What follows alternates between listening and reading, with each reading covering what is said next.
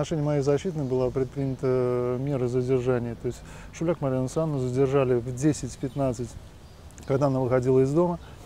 А, доставили следственную часть Следственного управления, Главного следственного управления Саратовской области якобы на допрос к следователю Масленниковой Галины Евгеньевны, который, с которой она рассталась э, вчера э, в 20.30. Последний допрос осуществлялся в 20.30. Э, на протяжении трех месяцев э, Шуляк Марина Александровна давала показания, являлась по первому вызову, в том числе и по телефону, на допрос к Масленниковой э, следователю. Александровна является генеральным директором акционерного общества и природа таких отношений возникает периодически. Но, как правило, акционеры судятся с обществом э, и подают иски в арбитражный суд.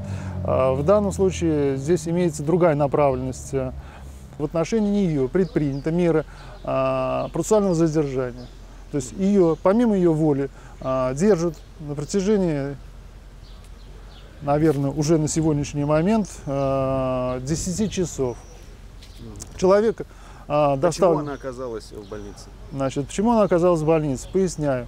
Значит, э, меня не поставили в известность о том, что ее доставили э, в следственную часть э, Главного следственного управления на Соколовую 339, mm-hmm. если мне память не изменяет, mm-hmm. адрес. Mm-hmm. Значит, э, я долгое время пытался пройти в это уникальное учреждение.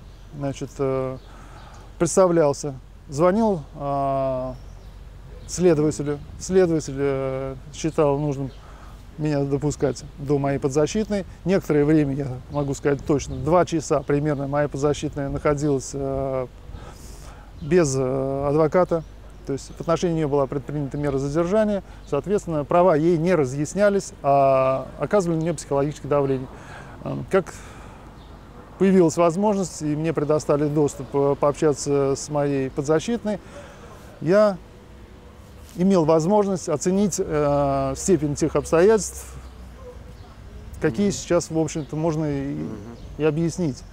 Значит, э, что в отношении нее было? Значит, до допроса, который должна была осуществить следователь Масленникова, над ней провели психологический, психологическую обработку. Ее припроводили в мое отсутствие на второй этаж. А, припроводили ее, к, а, опять со слов а, Марины Санны, к некому Полтанову. Кто это? Полтанов Сергей Александрович.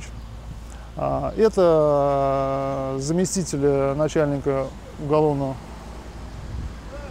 розыска, как я могу располагать сведениями. Ранее насколько мне помнится, эта фамилия э, созвучна. Такую должность занимал начальник э, Ленинского РОВД. Угу. То есть э, после психологической обработки, когда она вышла из этого кабинета, я увидел ее всю в слезах, в надрыве, в нервном срыве. То есть она шла по коридору, и этому свидетели э, ну, множество сотрудников э, того же ведомства, где она пребывала. Ей стало плохо сердцем? Ей стало плохо сердцем. Она шла, опираясь на стену. А, мы завели ее к следователю Масленниковой, давали успокоительные. А, я посчитал необходимым вызвать скорую помощь, потому что моя подзащитная имеет врожденный порог сердца. А, перенесла операцию на сердце. Об этом мы сделали заявление при нашем при допросе моей подзащитной Шулях Марисанны. Сделали заявление что она нуждается в госпитализации. Вызвали скорую помощь. Карета скорой помощи приехала. Ей долгое время препятствовали попасть на территорию вот этого закрытого учреждения. Скорой помощи? Скорой помощи. Mm-hmm. То есть некоторое время они простояли, получали согласие на доступ в закрытое учреждение. Значит, после этого значит, сотрудники дали возможность пройти а, врачам. Врачи оказали первую медицинскую помощь. А, значит, э, на руках врачей было заключение, что она нуждается в госпитализации.